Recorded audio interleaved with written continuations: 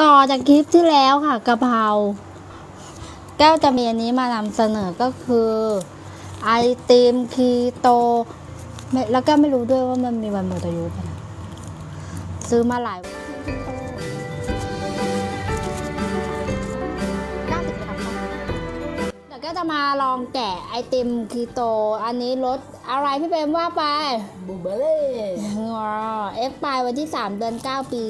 2564ได้อยู่มาเดี๋ยวแก้วแก่เลย นี่ไอติมคีโตน่ากินมาก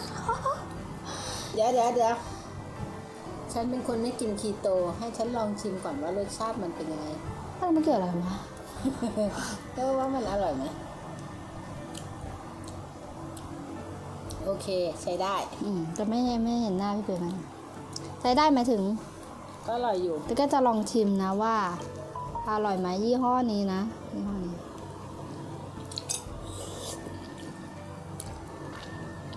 อืมอร่อยเหมือนเนี้ยก็มันมีนี่อะมีเนื้อบลูเบอร์รี่ด้วยอืมอร่อยไหมเดี๋ยวฟัน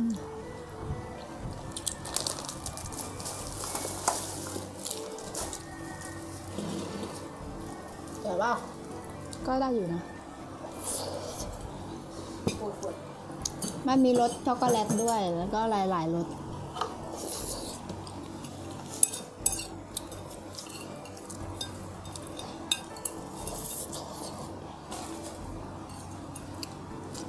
คนคีโตเขาก็กินไอติมได้ แต่หาไอติมซื้อยากหน่อย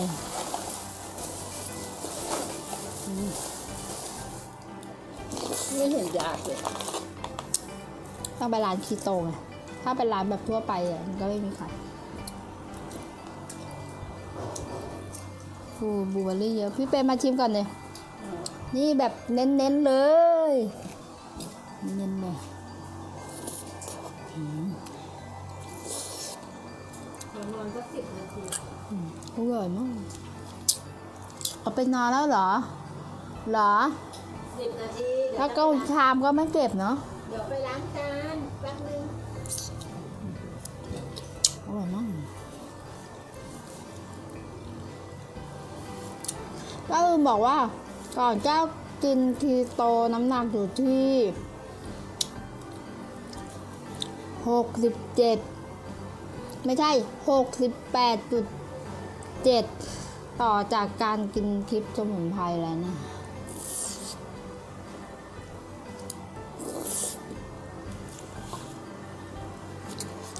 ยอดอร่อย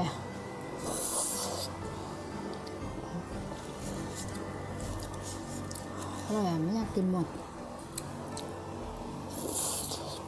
อร่อยสมราคา อร่อยสมราคา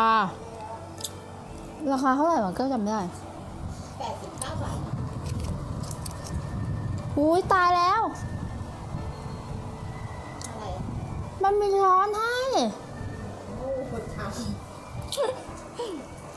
อันนี้คือช้อนโอ้โหนี่นี่ไงนี่ตักกิน ตักกินอย่างนี้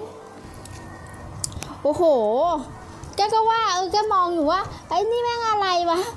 แกก็เฮ้ย หรือว่าจะเป็นช้อน ช้อนจริง ๆ ด้วย เพราะว่าไอติมก็แพงแม่งไม่แถมช้อนมาให้ดูดิช้อนอยู่นี้สรุปแล้วคนโง่เออแล้วก็โง่เองค่ะอร่อยเราต้องกินช้อนเขาก็อนนั้นอะอืมไม่ได้ข้าลยพอแล้วก็อิ่มแล้ว ก็จะจบคลิปแล้ว